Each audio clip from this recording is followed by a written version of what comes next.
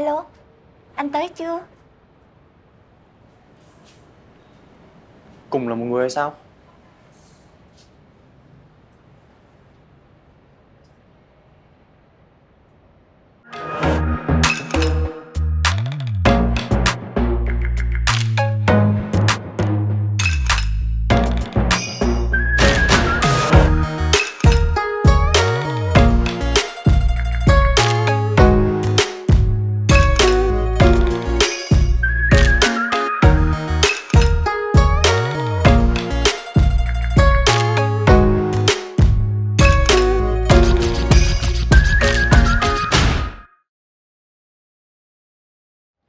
Tưởng hắn là một lãng tử lạnh lùng Ga lăng nhưng lịch sự. Anh thì mong muốn gặp được một cô gái hot girl Xinh xắn dễ thương Số đo ba vòng dáng chuẩn. Ai ngờ lại là một cô gái Vừa lùn lại còn vừa nhoi nữa.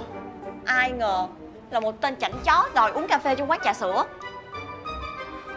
Tôi ghét anh ta. Thôi, chuyện gì cũng có cái nguyên do của nó mà. Có gì đâu mà anh tức giận như vậy. Hả? Sao? Giờ thì anh đã bình tĩnh để làm một chuyến thôi miên hồ quy chưa? Được. Cậu cứ cho anh đi. Anh nhất định phải nhìn rõ cô ấy Ok. Vậy mình bắt đầu nhé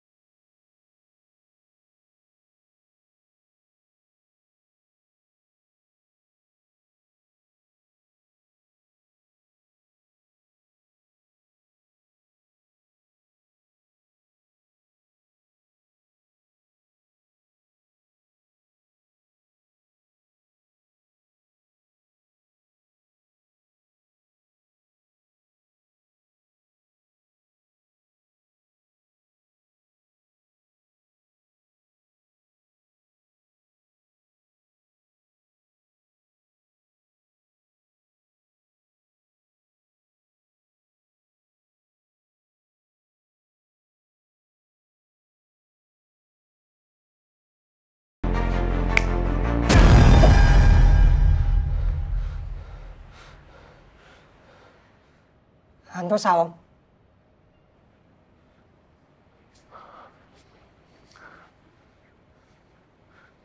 Không Anh không sao Có phải là anh đã nhìn thấy gương mặt của cô gái đâu? Không Chỉ là sáng nay anh có gặp một cô gái Một cô gái thời nay có gương mặt rất là giống với cô gái trong tiền kiếp mà anh đã mơ thấy, phải không? Trong lúc thôi miên Anh không có nhìn rõ Vậy là anh đã thấy cái gì? Anh thấy một cái hình xăm Giống cô gái trong mơ Hình xăm. Có khi nào đó lại là dấu hiệu của hai cô gái đó là một không ta? Em điên sao? Không, không được Không phải Thôi Anh về đây Anh còn phải tìm phòng để thuê nữa Thôi được rồi. Nè, đừng có quên là em luôn ủng hộ anh về mặt tài chính lẫn chỗ ở đó nha.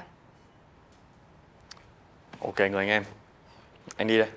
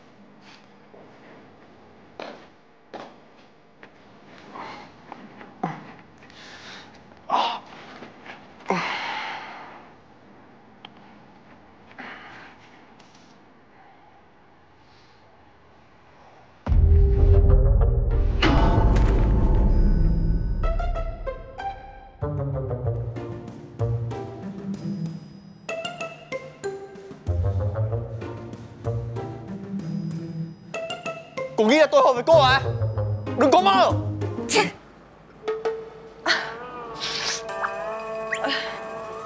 Uầy, sao có cái áo mà cứ mặc đi mặc lại hoài vậy? Đồ tôi cho bà nhiều lắm mà, sao không mặc? Mốt á, bà đừng có cho tôi đồ nữa nha. Tôi không thích mặc lại đồ cũ của người khác đâu. Đồ cũ đâu mà đồ cũ. Đồ hiệu, nguyên tem nguyên mác. Lúc trước ấy, tôi mua nhưng mà bây giờ tôi không thích nữa Mới mang lại tặng bà nè. Tôi biết Nhưng mà tôi cũng không thích vậy. Dù là có nợ nần á Thì cũng không thể để cái gu thời trang của mình sa sút được Đúng không?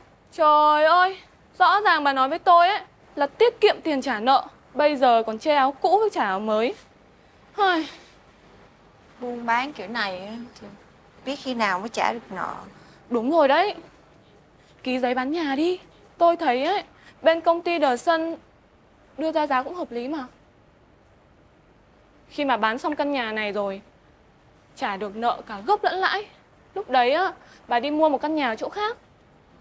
Sao mà đủ? Thì mua trả góp. Không được đâu. Nhà này là của ba mẹ tôi để lại á. Hình ảnh họ khắp mọi nơi kìa. Nợ cũng là do ba mẹ bà để lại đấy. Bà cố chấp nó vừa vừa thôi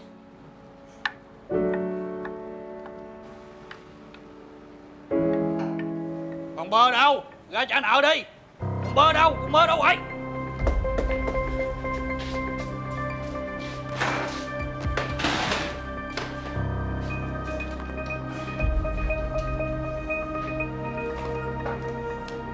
Hôm nay lãi không là 39 triệu Không trả là ra đường nhớ không em Dạ em nhớ Nhưng mà Mấy anh có thể nể tình phụ nữ neo đơn được không?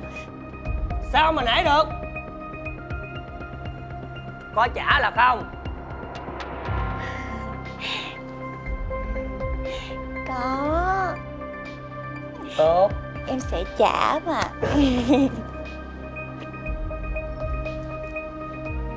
Nhưng mà hiện giờ không có.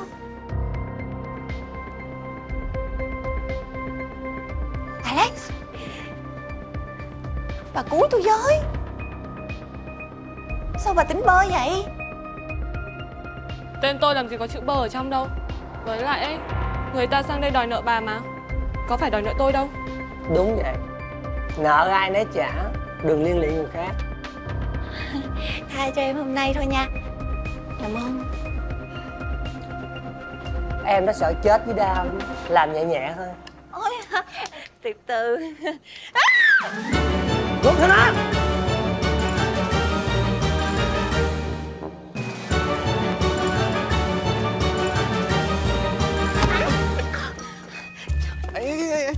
sao cô cứ luẩn quẩn trong đầu tôi thế. Đây không phải là lúc nói chuyện Cũng không phải lúc uống cà phê. Trời ơi bỏ ra. Thôi. Cứu tôi trước đi. Lại là tụi mày. Ban ngày ban mặt Thích giở trò với phụ nữ phải không? Giở cho gì? Ba thằng đàn ông Ăn hiếp một phụ nữ Không thấy nhục à? Nhút là gì? Mày là đàn ông Thiết gì tao chịu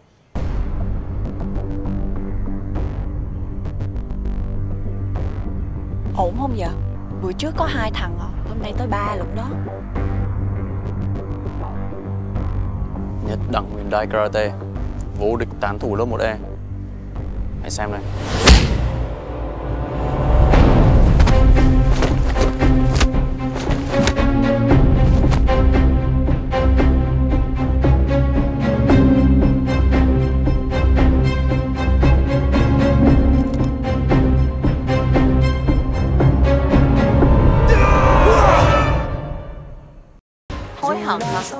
Gì tôi phải hối hận. Cô Đúng là đồ bất lượng Đồ vô lương tâm. Sao mấy người lại đây? Sao lại không thể? Cô còn thiếu nợ. Là tụi tôi cần đi đòi Mấy người mà dám phá quán tôi á Một đồng tôi cũng không trả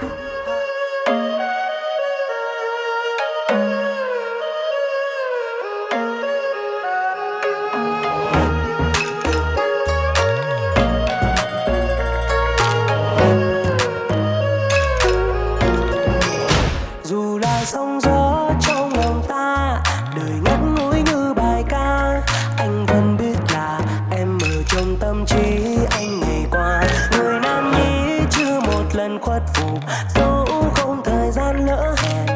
Nhưng sao ngập ngừng trước giọt lệ dài nhân?